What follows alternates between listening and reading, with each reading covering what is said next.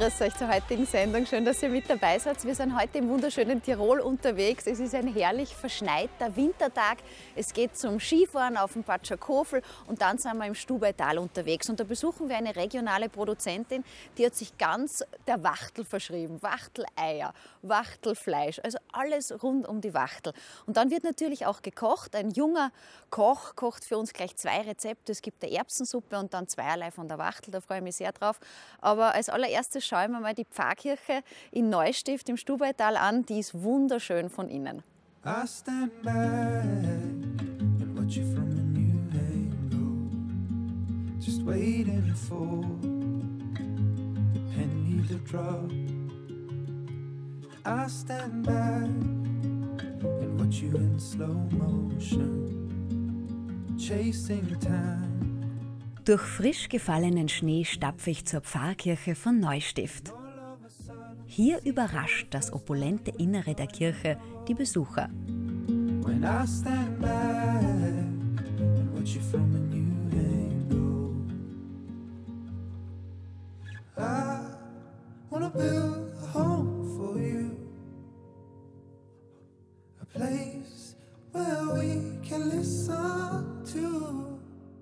ja, also es ist schon beeindruckend, diese Pfarrkirche in Neustift im Stubaital. Wenn man sie von außen sieht, dann macht sie eher einen schlichten und geradlinigen Eindruck. Wenn man dann in das Innere kommt, da tut sich richtig viel. Also barock, Rokoko sieht man. Und was für eine Dorfkirche besonders außergewöhnlich ist, das ist dieser dreijochige Saalbau, also diese drei Kuppeln, die man da findet. In der Mitte ein wunderschönes Bild über das Pfingstfest. Und was interessant ist, diese Kirche ist erbaut worden nach Plänen des berühmten geistlichen, aber auch Kirchenerbauers Franz de Paula Penz toller Name. Äh, und seine Kirchen findet man übrigens in ganz Tirol. Was man noch sagen kann, ist, dass man an, an den Decken Werke von wirklich bekannten Meistern findet. Und hinten jetzt der Altar, da sieht man korinthische Säulen und zwar so wie es gehört. Sie wissen vielleicht noch aus der Schulzeit, es gibt diese äh, klassische Säulenordnung, fünf verschiedene. Das sind die toskanischen, dorischen, ionischen korinthischen und komposite Säulenordnung. Und hier sieht man sehr schöne korinthische Säulen. Die haben unten so ein, ein kleines Blätterwerk und dann oben diese schönen Hörner. Und bei den ionischen Säulen hätte man eben nur diese Hörner. Und wir lassen Sie jetzt ein bisschen mit den Bildern dieser tollen Pfarrkirche alleine ist übrigens geweiht dem heiligen Georg. Noch ein klein wenig möchte ich hier verweilen und die Ruhe genießen bevor es durch die wunderschöne Winterlandschaft zum Untersiedlerhof ins Stubaital geht.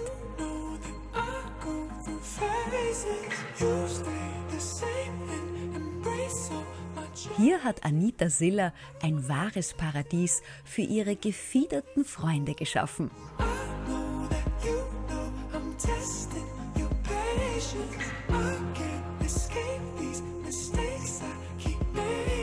Also, ich habe an vielen Orten schon Interviews geführt, aber noch nicht in einem Wachtelparadies. Wo sind wir da? Wir sind am Untersillerhof ja. in unserer Wachtelstube. Okay. Das ist die Tiroler Wachtel, das ist unsere eigene Zucht und Aha. das ist schon unsere Interpretation, wie sich ein Wachtel wohlfühlen kann. Okay. Das sprich, wir sind jetzt im Winter, da ist die Türe geschlossen, mhm. dafür haben wir einen Sonnenlichtsimulator ober uns und Infrarot-Wärmepaneele, dass sie die richtige Temperatur haben. Mhm. Und im Sommer kann man die ganze Front aufschieben und dann können sie raus ins Freie. Das ist ja ein richtiges Luxusdomizil, oder? Ja, genau. Steckt viel Arbeit dahinter, auch zum Schauen, dass sie jetzt eben so ganz ungestört zwischen uns bei den Füßen rum. Also mhm. das sind gewöhnt, dass wir Leute mhm. rein haben. Also das ist schon mein Beobachtungsbankel, da wo ich viele, viele Stunden bereits verbracht okay. habe. Also es ist, Erzähl, du sitzt dann da und was? Ich will ja nicht sagen, ich stehe jetzt nicht live wegen dir da rein, sondern es hat einen Grund. Nein, ich beobachte sie einfach. Ich schaue, wie sie sich verhalten, was sie brauchen, damit sie genug Versteckmöglichkeiten mhm. haben. Mhm. Ähm, wie schon die Gruppe untereinander, da laufen ja auch Herren mit. Mhm. Also es sind hauptsächlich, ich bin ja ein Frauenfreund, das heißt hauptsächlich haben wir nur Frauen bei unserem Betrieb als Mitarbeiterinnen. Okay. Und halt ausreichend Männer, damit es halt passt, dass die Harmonie da ist, dass der Zickenterror nicht überhand nimmt. Gibt es einen Zickenterror bei den Wachteln? Ja, gibt es. Ja, ja, genau. Und das braucht man einfach ein bisschen so braucht ein bisschen Fingerspitzengefühl mhm. und Erfahrung. Jetzt ist ja so, ich habe schon Hasen gestreichelt, ich bin mit Lamas wandern gegangen, ich habe Kuhställe ausgemistet, aber ich habe noch niemals ein Wachtel auf dem Schoß gehabt. Kannst du den Wunsch erfüllen? Ja, natürlich, sehr gerne. Greift man also, da einfach zu oder gibt es da? Ja, eigentlich einfach von oben sanft mhm. zugreifen. Also die hat sich jetzt sehr gut eignen. Da, das ist eine von den Super Ladies. Die haben extrem starke Füße. Das heißt, wenn sie jetzt auf deine Chance tust, dann kann es sein, dass sie wegspringt. Mhm. Aber wir haben da jetzt schon ein Luxus-Entspannungsmenü. Also, jetzt hör doch auf, das sind Sprossen. Genau. Also dann, da haben wir irgendwelche Larven, oder? Ja, genau. Insekten waren natürlich die natürlichste Art, wie sie die, die Wachteln mhm. im Endeffekt ernähren würden. Mhm. Und im Winter, damit man auch, also was sie im Sommer halt draußen haben, die, die lieben halt einfach grüne Sachen. Mhm. Und im Winter dem einfach Sprossen vorkeimen, ganz normal am Fensterbankel. Und das ist einfach auch da einen ausreichenden, ja, ist ein bisschen Spiel, ist Beschäftigung und natürlich auch Vitaminkick im Winter. Du, warum Wachteln? Wie bist du auf das gekommen? Ja, wie man auf Wachteln? Also ich bin ein extremer Genussmensch mhm. und ich wollte eigentlich immer eine regionale Alternative haben. Also mhm. nicht das, wir haben ein kulinarisches Schlaraffenland und ich gehe extrem gern sehr gut essen und war von Anfang an begeistert vom Wachtelei und auch vom Fleisch. Mhm. Und wenn man sich dann anschaut, wie das produziert wird in Europa, dann merkt man, das muss bei uns im Betrieb möglich sein. Also wir mhm. haben äh, Berglage, wir haben Hanglage, wir haben nicht viel Platz. Und die Wachtel, Gott sei Dank, braucht ja nicht viel Platz. Mhm. Und dann hat mein Mann gesagt, ja, rechnen Sie einmal aus. Und da ist da zwei Jahre eigentlich theoretische Vorlaufzeit entstanden. und wo er gesagt hat, ja, wenn du meinst, dann probier. Also solange ich ihn seine Kier nicht wegnehme, ist für ihn alles in Ordnung. Also ihr habt da eine klare Trennung, ja? Also genau. Macht, du machst die Wachteln und er macht... Ja, er ist der Stallbursche schon mittlerweile für alles, muss man ehrlich sagen. Also er hilft ja ganz, ganz brav mit. Und ja, es geht da nur gemeinsam. Mhm. Es geht da nur, wenn beide komplett dahinter stehen. Auch die Gastronomie im Stubaital hat sich der Wachtel verschrieben. Der Stubaierhof in Neustift kreiert kulinarische Highlights rund um das regionale Produkt. Kochen darf ich heute mit Andreas Egger. Mein Gastgeber öffnet sogar seine Privatküche für uns. Ich habe da von der Anita ein bisschen was mitgebracht, die Wachteleier, genau. Wachtel selber. Äh, was machen wir jetzt? Äh, wir machen da jetzt zweierlei von der Wachtel. Okay. Äh, mit einem Pastinaken-Karottenpüree, uh. Speckbohnenbündel und einem Rosmarinschü. Genau. Jetzt hör auf, da hast du nicht wenig vorgenommen. Mit was fangen wir an? Ähm, am allerlängsten dauert bei uns das Püree. Mhm. Da darf ich jetzt einfach bitten, ähm, Karotten, mhm. Pastinaken und Kartoffeln in den Topf reinzutun. Mhm. Mit Wasser? Genau, mit Wasser aufgießen. Du, Kartoffelpastinaken finde ich ist so ein bisschen. Mit denen arbeitet man eigentlich selten, obwohl es so was Gutes ist. Ja, die Pastinaken ist eigentlich in Vergessenheit geraten gewesen ja. vor, äh, in der letzten Zeit. Ja. Ist äh, so ein Urgemüse eigentlich. Aha. Und eigentlich ein ganz ein tolles Gemüse, ja, eine gute Süße hat. Mhm. Und passt eigentlich perfekt jetzt da dazu. Mhm. Dann und salzen? Genau, mit denen ein bisschen Salz rein. Kochen das ganz weich. Gut. Jetzt haben wir den Herd auch langsam unter Kontrolle. Jawohl. Gell? Man es einmal salzen. Das macht das seine, ja? Genau. Mhm. Währenddessen nehme ich mich um die Speckfisolen an. Dazu bissfest gekochte Fisolen in Speck wickeln. Du, was hast du da für grüne Zauberei vorbereitet? Aha. Ähm, und zwar werden wir da den, das Wachtel richtig äh, zur Geltung bringen. Das haben wir da schon vorgekocht. Und da machen wir als nächstes dann gleich einen Bröselteig. Mhm. Und da kann ich jetzt eh gleich schon ein bisschen durchstarten nebenbei. Okay, ja, wir sind ja schon neugierig. Da haben wir jetzt einfach einmal die Brösel mit ganz viel Petersilie, mhm. die Petersilie abgezupft vom Stängel, mhm. ähm, in den Mixer geben. Mhm. Ganz fest ähm, durchgemixt, bis alles schön vermischt ist. Das geben wir jetzt da rein. Dann ein Ei zur Bindung ein bisschen vor dem Ganzen. Ein bisschen an Senf. Dann tun wir noch ein bisschen Pfeffer rein und das Salz. Und eigentlich gar nicht mehr, weil wir wollen da ja einen Geschmack von der Petersilie haben. Und das Ganze tun wir jetzt einfach mit den Händen gut vermengen. Da kann man auch ruhig mit den mit die Händen einigen, weil da hat man dann einfach das Gefühl, ob die Konsistenz passt. Neben dir ist äh, in der Karaffe da ein bisschen Sahne. Magst du mir da gerade einen kleinen Schuss rein? Weil ich sag Stopp. Ja. Das passt gut so. Dankeschön. Mhm. Da eben an sich die Masse passt genau gut so. Und dann wäre der Teig eigentlich schon fertig, oder? Ja, genau. Sag einmal, wir haben den nämlich einmal schon vorbereitet. Genau. Der ist, glaube ich, kalt gestellt worden, oder? Eine Zeit Der lang. war jetzt zwei Stunden im Kühlschrank. Und da werden wir jetzt einfach ähm, ungefähr ein Viertel von dem Teig nehmen. Einmal für dich und einmal für mich. Und jetzt? Und jetzt werden wir uns das da ein bisschen platt drucken. Jeweils ein Wachtelei mit der Masse umschließen, Und so hat man halt einfach aus einfachen Produkten, die man überall kriegt, gleich einfach ein bisschen was Netteres draus macht. Gell? macht. Ah, cool ist das. Und ich denke mir, das wird dann schön ausschauen, wenn man es aufschneidet. Gell? Dann in der Mitte Genau. ist das Ei. nun die zarten Wachtelbrüstchen mit Salz und Pfeffer würzen und auf der Hautseite in Butter goldbraun anbraten. In der Zwischenzeit tun ich da die Bällchen, da haben wir einfach noch gehackte Mandeln, wo wir die drinnen wälzen. Das kann man machen, wer es mag, muss man aber nicht. So, jetzt drehe ich. Ah, schau, so muss das So sein, oder? gut, ja, perfekt. Pflanzt ein bisschen Butter noch rein.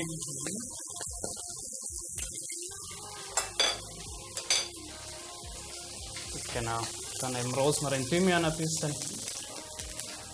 Mit der Butter die Wachtelbrüstchen immer wieder arrosieren und anschließend bei 75 Grad ca. 8 Minuten im Backrohr rasten lassen. In der Zwischenzeit prasseln die Speckfisolen vielversprechend in einer Pfanne. Nebenbei mixt Andreas das weich gekochte Karottenpastinackengemüse. In der Zwischenzeit haben wir da eben unsere Bällchen, wo wir das Ei eingepackt haben.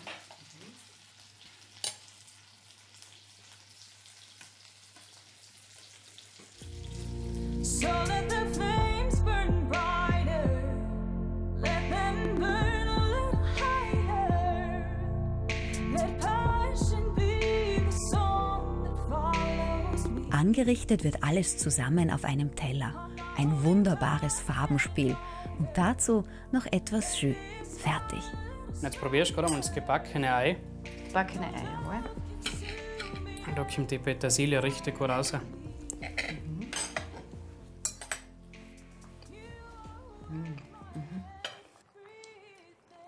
Wow. Mhm. Hast du da jetzt nur Petersilie reingegeben von den Kräutern? Ausschließlich, ja. Aber man kennt da alles, was halt gerade im Garten Da kann man, was man noch übrig hat, da aber bitte nicht sparen, weil sonst äh, kriegt man die schöne Farbe nicht zusammen. Super. Ja, So, und wie ist jetzt dieses Mini-Wachtelchen? Eigentlich, ich würde es so nehmen und so. ja, Aber das darf man nicht. mit Tiroler schon. Auf jeden Fall. So, Mahlzeit, ich verabschiede mich jetzt schon. Also, ich verabschiede mich nicht, aber viel werde ich nicht mehr sagen. Danke, Andi. Mahlzeit noch. Danke fürs Kommen. Ganz fein. Was ist gut? Okay. Wenn man weiß, was herkommt, auch noch. Ja. Da, ein paar Meter weiter. Ja, Voll gut. Nach dem guten Essen steht Bewegung am Programm. Heute geht's zum Skifahren. Die Gondelbahn führt mich von der Talstation in Igels über die Mittelstation hinauf in das alpine Skiparadies am Patschakofel. Der Innsbrucker Hausberg erhebt sich südlich der Landeshauptstadt und ist ein beliebtes Ausflugsziel für Skifahrer und mutige Freerider.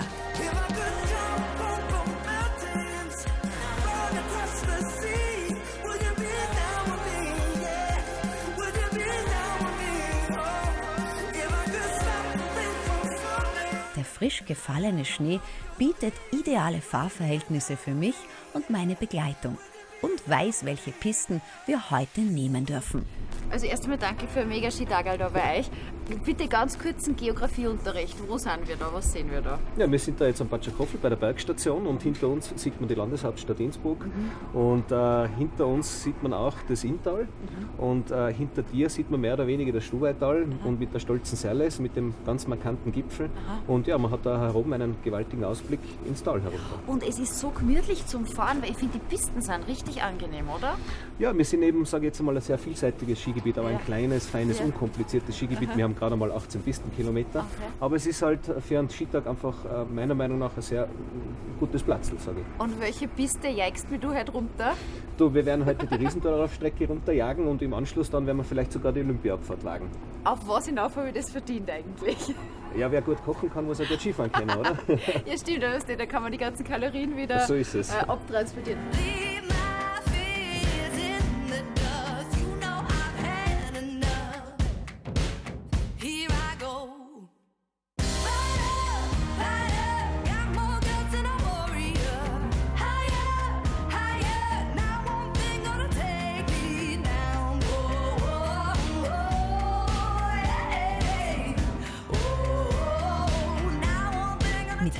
Adrian macht das Skifahren so richtig Spaß. Sportlich gibt er das Tempo vor und ich versuche mitzuhalten. Das powert so richtig schön aus und macht hungrig. Als Belohnung für mein sportliches Durchhaltevermögen gibt es eine köstliche warme Suppe von Andreas Egger für mich. Es ist so lustig, dass sie bei euch halt wirklich alles um die Wachtel dreht. Und ich war jetzt gerade Skifahren und es ist kalt und wir machen jetzt eine ordentliche Suppe. Was machen wir? Wir machen heute eine Erbsencremesuppe, Mhm. eben auch mit der Wachtel ähm, von Anita als, als Einlage quasi. Ein bisschen äh, Wachtelfleisch haben wir noch in Würfel Mhm. dazu und ein bisschen Wurzelgemüse. Sie steinigen uns jetzt bitte nicht, dass wir nur Wachtel machen. Sie können natürlich ein Händel nehmen, man kann eine Butter Genau, nehmen ja. dafür und, und, und, oder? Genau. Ist eigentlich immer derselbe Mhm. Vorgang und heute eben mit der Wachtel. Perfekt. Du leitest mich durch. Was darf ich denn für die machen? Ja, ähm, als allererstes darf ich bitten, ähm, dass wir eben die Wachteleier, die wir da haben, ähm, circa sechs Minuten kochen. Die kochen wir ganz fest. Und da drehen wir gleich mal auf. Gut. Also das wäre eh so eine Frage, die ich nämlich vergessen habe, die Anita zu stellen. Wie tut man denn Wachtelei kochen? Also sechs Minuten, dann sind es hart. Sechs Minuten reicht auf jeden Fall. Und ich das Dings wachsweich haben möchte? Ja, das ist die hohe Kunst beim Wachtelei. Also mit vier Minuten einmal versuchen, einmal eine Probe machen. Das, da müssen wir ein bisschen drauf kommen. Oder, oder sie legen es ins, ins kalte Wasser ein und lassen es einmal aufkochen und dann angeblich ist das auch immer perfekt, Genau, oder? ja. Du, ich halte dich nicht vom Arbeiten Ja. ab, gell? Du machst so, wie du glaubst. Gut. Wir machen jetzt inzwischen eine Velouté. Das heißt, das ist einfach eine Rahmsoße quasi, eine ganz eine, eine einfache. Und zwar tun wir da einfach ein bisschen unseren Bauernbutter rein, dann bringen wir zum Schmelzen. Dankeschön. Wir haben übrigens alle Rezepte von Andreas für Sie zusammengefasst auf extra.orf.at. Auf unserer Homepage sind alle Rezepte im ORF-Teletext auf der Seite 356 und in der Nachlese ist dann auch alles drinnen. Zutaten, Zubereitung, Foto vom Rezept, Foto vom Andi. Das kann Das man alles. Geh, Fralli.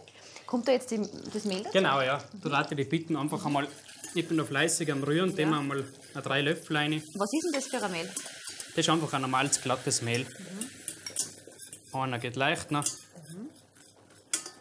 Und eben dann gießen wir mit unserem ähm, Geflügelfond auf, den wir da zur Seite haben. Vielleicht magst du mal ganz kurz zeigen, ja? Ja, also das ist auf alle Fälle sehenswert, weil das ist ja nicht irgendein Gemüse, äh, Geflügelfond, Genau. sondern auch natürlich mit Wachtel zubereitet. Wie gesagt, Sie können da auch einen Gemüsefond nehmen oder einen ganz normalen Hühnerfond. Was sehen wir da drinnen? Eben die Wachteln. Dann äh, ist, glaube ich, Pore ist drinnen, Sellerie, Genau. Karotten. Das war's. Das ganze Wurzelgemüse eben und eben die Karkassen von der Wachtel, dass wir eben alles verwenden, weil es einfach schade ist um die Lebensmittel. Gell? So, weil Und jetzt? Was brauchst du? dann gießen wir da einmal auf eben. Für wie viele Portionen machst du jetzt ungefähr? Wir gehen jetzt da mal auf äh, vier Personen circa.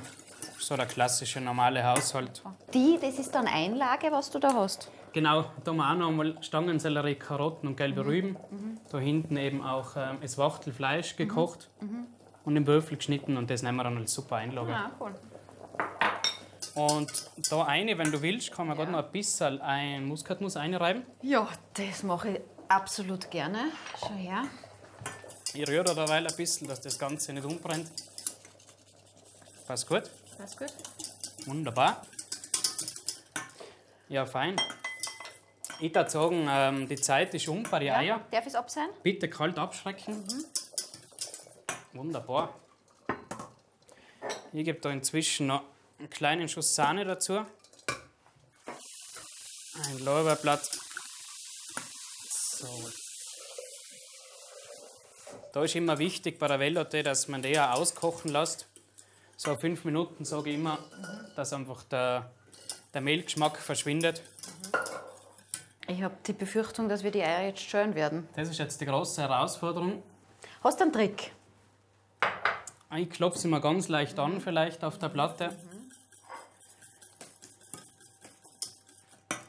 Und oft einmal geht es, dass man so am Stück das bringt. Ich werde mir einmal eine schnappen und dann werden wir das, werden wir das schon hinkriegen. Ja, da super. Na, wir singen uns dann Weihnachten wieder, meine Damen und Herren. Es war wirklich schön. Hat mich recht gefreut. Heute, wenn wir extra lange Sendezeit haben. Ja, du, ich bin ja nur hungrig gekommen, gell? Aber die darf man dann herauspanieren, oder? Ähm, da jetzt in der Suppe nicht. Nein, das geht wunderbar. Ha, weißt du, was der Trick ist? Wenn es da diese dünne Haut, die da drunter ist, Genau, ja. das ist es, mit der abziehen. Das Wachtelei ist ja an sich Jetzt, jetzt. um ein Vielfaches gesünder gell, wie das normale Hühnerei. Ach so? Um einiges weniger Cholesterin und ganz viel Omega-3. Das ist wirklich, Ach so? wie man heutzutage immer sagt, ein Superfood. Ja, Ja. das habe ich nicht gewusst. So, du hast das Püree Ha, langsam. geschafft. So, du hast da jetzt so einen ähm, prä prächtigen Mixer. Was Ja. mache ich, wenn ich nicht so einen prächtigen Mixer habe? Kann ich es mit dem Mit Stabmixer? einem Pürierstab geht das ganz genauso. Cool. Ja. Dann gehen wir es an. Dann kippen wir das da rein. Ja. So, das geben wir da jetzt alles rein. Wunderbar. So, Silvia, darf dich bitten, die Erbsen alle rein. Mhm, gerne. Da einfach dazu, ja? Genau. Alle zusammen rein, da sparen wir nicht. Bist ja kein Erbsenzähler, oder? Passt. Das ist da, das ist So, da. jetzt wird es ein bisschen laut. Jupp.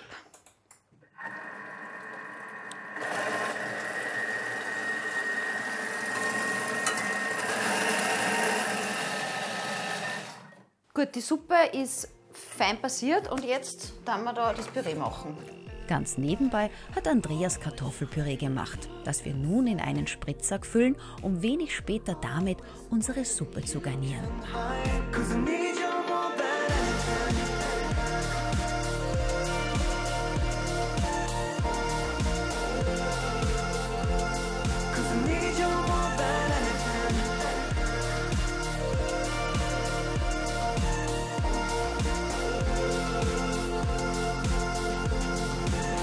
Andi, danke. Ja, gerne. Ich bin begeistert. Jetzt muss es nur mehr schmecken, aber da gehe ich davon aus. Magst du mir sagen, was du da gezaubert hast für uns? Ähm, wir haben da jetzt eben einmal die Erbsencremesuppe gemacht mit äh, Wachtelfleisch und Wurzelgemüse als Einlage und eben das Wachtelei auf einem kleinen Püree noch oben drauf. Also bitte. Dankeschön. Mahlzeit Ihnen zu Hause. Vielleicht Mahlzeit. machen Sie es nach und schicken uns dann ein Foto von Ihrer Interpretation. Ei, Püree Genau. Und Suppe. Lassen wir gelten, oder? So fein, so cremig, so ein schöner frischer Geschmack. Toll. Passt. Das ist genau das Richtige an so einem kalten Tag, finde ich. Ja, nach dem Skifahren sowieso. gell? Das nächste Mal gehst du mit Skifahren, gell? Ja, da nehme ich dich aber beim Wort. Gell? Ganz gut. War schnell. Hier kommt man kulinarisch voll auf seine Kosten. Bei top motivierten Shootingstars der Gastronomie, die Hand in Hand mit ihren Produzenten vor Ort arbeiten. Inklusive ereignisreichen Pistenspaß am Patschakofel. Ja, so lässt sich's leben. Darum hält man dir, Tiroler Land, so gerne die Treue.